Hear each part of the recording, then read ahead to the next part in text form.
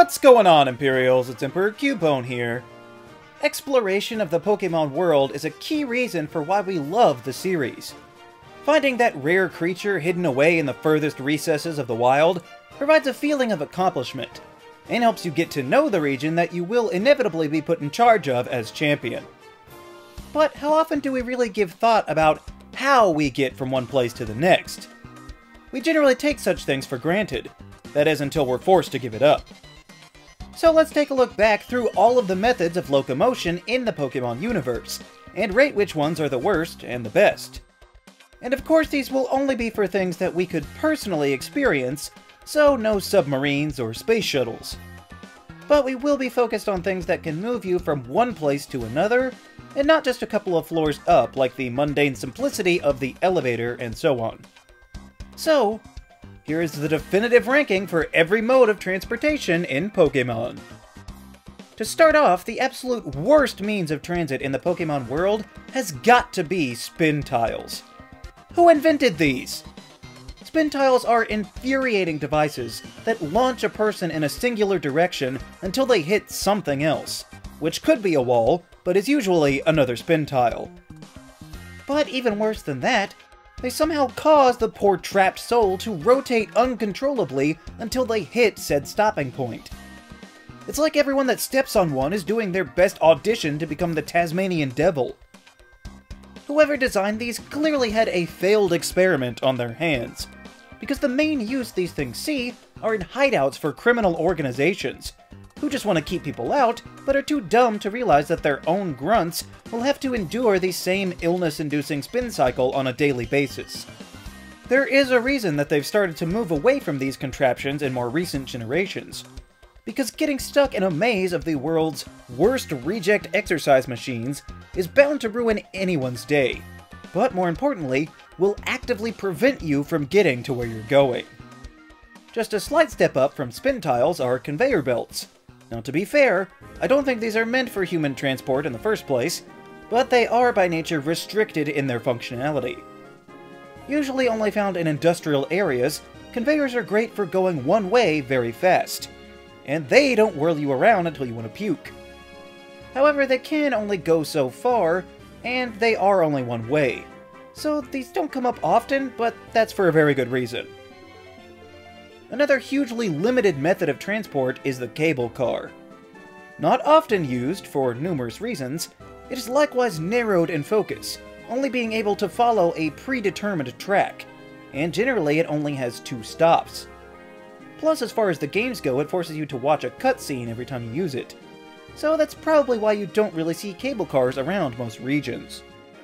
Next up is the Warp Panel. Now, this is definitely an improvement in terms of comfort for the user over spin tiles, and the technology itself would be revolutionary, likely being one of the best methods of transport possible. The problem arises from the execution of warp panels, which severely limit their potential. For some reason, warp panels are almost exclusively used indoors to other locations in the same building. Perhaps that's a limitation with the system itself, requiring a closed circuit to maintain the integrity of the matter transport, and they simply can't teleport an indefinite distance to another region. I can buy that. That would make sense if they were still relatively early on in their research on the subject. What doesn't make sense to me is why there are frequently dozens of warp panels all crammed in the same small building. This is a technology that could perceivably change the world, and their best use for it is to make people piddle around a gym blindly? Best case scenario is it's a one-time useful shortcut to get you out and heal your Pokemon. But once used, you have to slog your way back through however you got there in the first place. Maybe if they can upgrade it further in the future, it'll climb the list. But for now, warp panels are extremely cool, but extremely restricted in terms of actual travel. Just above that, we have... walking. Maybe the most boring method possible, since we can just do that in our world. Walking is the only means of transit that's available to you from the beginning, that you can use without trudging through any arduous tasks to try and earn better ways to move. Walking will get you where you want to go, eventually. To some, that's one of the reasons why they won't go back to play the older games, because they're stuck with walking and the default speed is tediously slow. Walking is a solid way to get you where you're going, but the sluggish pace means that it's one of the less preferred ways to get anywhere. We have seen automobiles throughout the Pokemon world, but when it comes down to using them, they suddenly seem to scatter. While it is probably the most common method of transportation in our world, it seems that people here prefer to use almost anything else. Really the only standout examples are the immense rip-off taxicabs in Lumiose City that only drive you around there, and the Executor bus in Alola, that's only purpose is to cut a possibly interesting route in half. However, these means are practically instantaneous, so while limited, having a lot of horsepower behind your movements will help to whisk you on your way. I also find much of the same to be true for airplanes, which are similarly sparse in the Pokemon realm. The only difference here is that airplanes seem to be able to take you to places that you otherwise wouldn't be able to go, or at least would take forever to get to if you weren't in the air. Maybe we'll see more pilots in the future instead of just in the Unova region. Boats in the Pokemon world are useful in their own way. They can provide near instantaneous travel between two locations, at least from a gameplay perspective. The downside, of course, being that this convenience is only eligible for towns on the coast, for obvious reasons. So, best case scenario, you could use the boats to half a dozen cities or other locations in any given region. Occasionally, you will get to spend some time on a boat and can battle other trainers, though some might find it monotonous and just want to reach their destination, which is fair. In which case, you could try and go to sleep in your bed enough to let the journey pass. Sometimes there are even boats that you can enter that don't go anywhere. So when boats work, they are tremendously useful, especially if it's early in your journey. However, certain inconsistencies in travel time and the complete inability to travel anywhere inland puts boats squarely in the middle of the pack. One of the best improvements in the franchise to date was the advent of running shoes. Doubling speed across the entire game was groundbreaking, especially once it could be applied to indoors. Running is one of the simplest but most effective means of continued locomotion throughout the games, so much so that it has become the default in the games when choosing a direction, removing walking altogether. If all other means of transport fail, there will always be good old reliable running. Similar reasoning could be applied to roller skates in the Kalos region, being the only place where we've seen them to date. They are pretty much just fancy wheeled running as far as mechanics go, but the reason it places slightly higher on the list is that the skates can get you into a few other hidden areas that you wouldn't otherwise be able to access. So being as good as running, with the odd chance of finding a helpful item, gives it the necessary boost. Next up are trains. There are actually a surprising number of useful trains in the Pokemon universe, compared to other conventional transportation. The first of which was the Express Magnet train between Goldenrod and Saffron cities, uniting the Johto and Kanto regions so that a short scene of a speeding train was all it took to travel to a neighboring region, instead of having to use multiple flies or waterfall. Trains are also used to take you to places that you couldn't get to by foot, like in the Unova and Kalos regions. And as recently as Sword and Shield, trains played a huge part in the region, being a fast transit system for at least half a dozen spots around the Galar region. Not only making trains more relevant than ever, but also a fundamental part of the region's identity, and that will only continue with the upcoming Isle of Armor expansion as well. Cracking the top 5, we start with surfing. Surfing is one of the ultimate ways of backtracking in the games, letting you enter new areas that you couldn't get to the first time around. You have to pass by so many bodies of water before you can even get the ability to surf. Even certain hometowns have this capability of opening up more once you're able to ride the waves. And over the years, there have been different ways of surfing, just by teaching the HM to any Pokemon that could learn it, or other times it's reserved for a Lapras or a very talented partner. The only reason surfing doesn't rank higher is because of the constant interruptions, where each free moment holds terror that you'll be assaulted by another creature from the deep. The convenience of surfing cannot be denied, but the propensity for getting constantly attacked by various water types does give some trainers pause at this particular mode of transportation. But certain other modes of marine travel, such as dive and waterfall, are only accessible by surfing first, so there are ups and downs to consider. Next is fairly similar with Poke Ride. It's like surfing in that it's done with Pokemon, but not just on the water, although Poke Ride does that too. Poke Ride increases your speed at varying levels to move over the terrain, generally faster than you could on your own. But each one comes with its own unique abilities that will help you along in your adventure. You can smash through rocks with ease, you can gallop across uneven terrain, you can even ride a giant item finder. Even ones that don't increase your speed, like Machamp, make it so that you can shove massive boulders, and presumably deter any would-be bullies.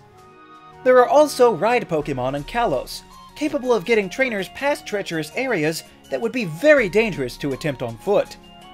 And even cute little ones that can hop back over ledges.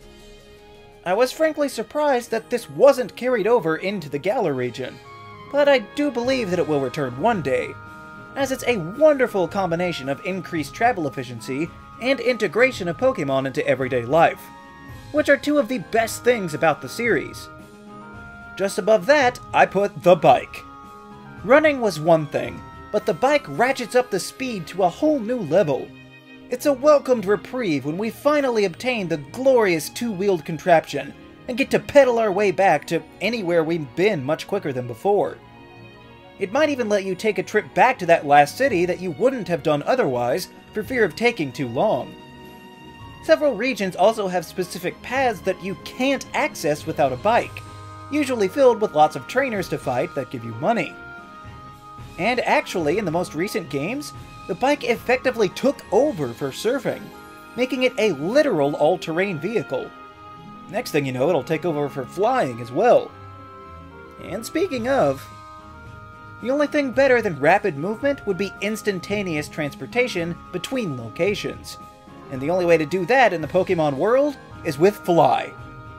Well, actually there's Teleport, which would qualify, I guess, but it seems to be pretty much the same to me, both using a Pokemon's move to jump the trainer to another location, usually a Pokemon Center.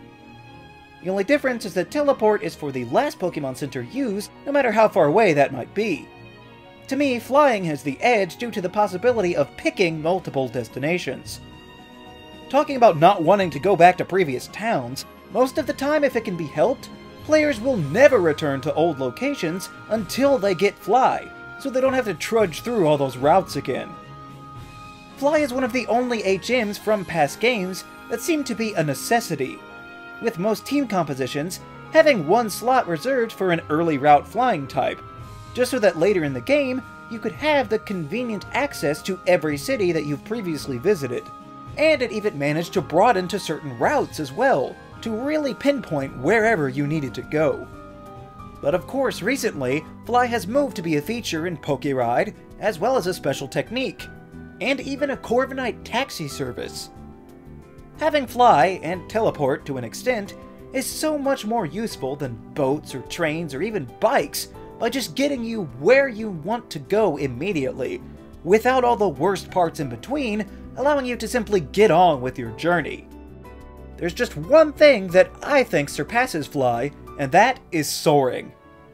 Soaring is effectively the middle part that Fly skips over, where you ride on a Pokemon through the skies to your destination. And you have to remember that in Gen 6, we were still relying on HMs, so having this capability to soar from one spot to the next made it possible to remove a designated flyer from the team, freeing up party space for the first time ever you not only get to experience gorgeous views, but you truly get access to areas that you never could otherwise. Good luck taking a bike or a train to these outlying islands. And even if a boat could get close, there's nowhere for it to dock. And none of those could reach up into the sky for encounters either. That's the other thing about soaring. Not only is it done exclusively through legendary Pokemon, but it is a means by which to collect dozens of other legendaries, as well as standard Pokemon unavailable anywhere else to fill out your Pokedex. This carries over into what I believe the only other time soaring was implemented in the Ultra games, while on the back of the Cosmoem evolution through Ultra Space. Through these portals, you could likewise catch legends and Ultra Beasts, as well as shiny hunt with relative ease. While it might not be as immediate as Fly itself, the sheer possibilities that soaring affords that are unique from every other mode of transportation and the beautiful scenery that you couldn't possibly get anywhere else makes this the best method of travel I've seen to date. I just hope we'll see it again. So, those are the rankings for every type of transportation to date in the Pokemon world. What are your favorite ways to travel in Pokemon? Let me know down in the comments. Also be sure to leave a like, share this video, and subscribe so that you too can become an Imperial today. And we'll see you around next time!